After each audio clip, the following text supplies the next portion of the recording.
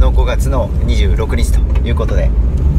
え、昨日に続いてちょっと映像をね少し撮っていこうかなと思ってるんですけれども。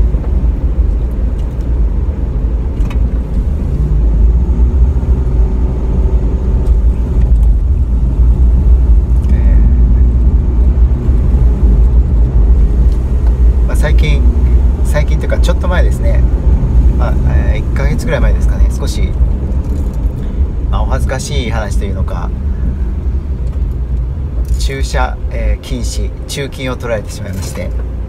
まあ、それもですね駐車、えっと、お客様にのとこに配達に行ってる時なんですよね。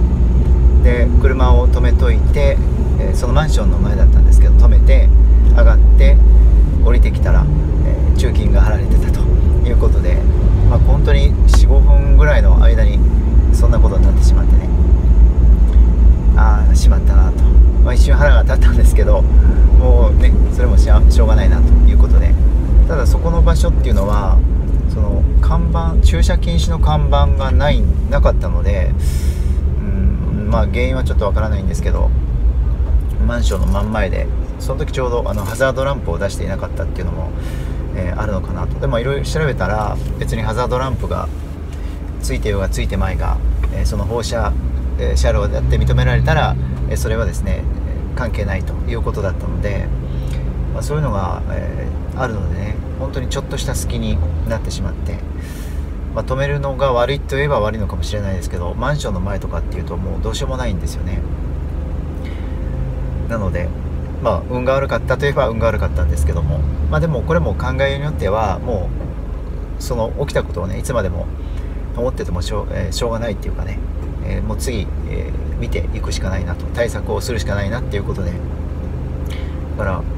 まあ、それちょっと厳しくなってますよね道路事情というのかですからじゃあ、まあ、どうしたらいいかっていうことで対策をしようということで、まあ、配達中ですと、まあ、こういうのをね、えー、作りまして、まあ、作ったからあのそれで見逃してくれるかっていうとそれは分からないですけれどもただお客さんのとこに止める間はね、えー、ちょっと気をつけて止めなきゃいけないなっていうのも思いましたね。だからそれで一つ、まあ、学びになって、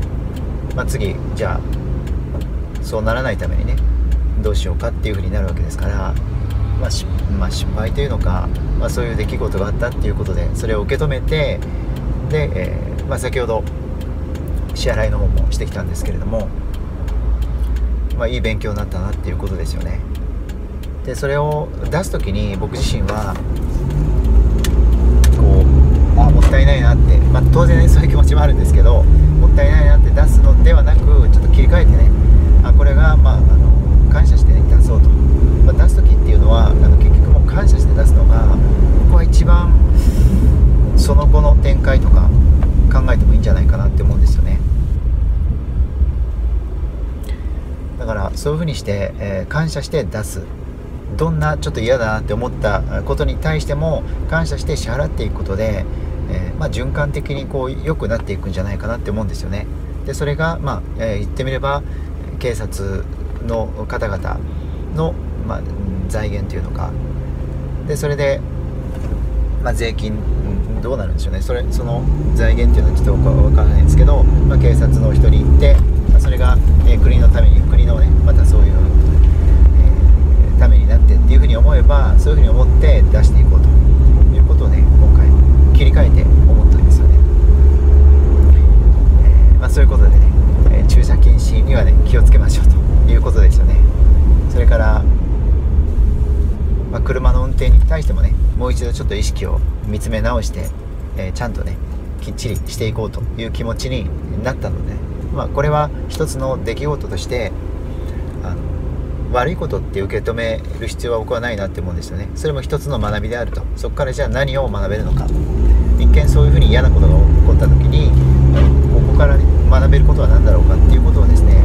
まあ、常に僕は意識するようにしてるんですよねそうするとそれが、え先輩でもないし一つの体験であり一つの学びでありっていうことになっていくと思うんですよ。なので、まあ喜んで出すというのをねちょっと意識して共にねやっていきましょう。今回は以上になります。ありがとうございます。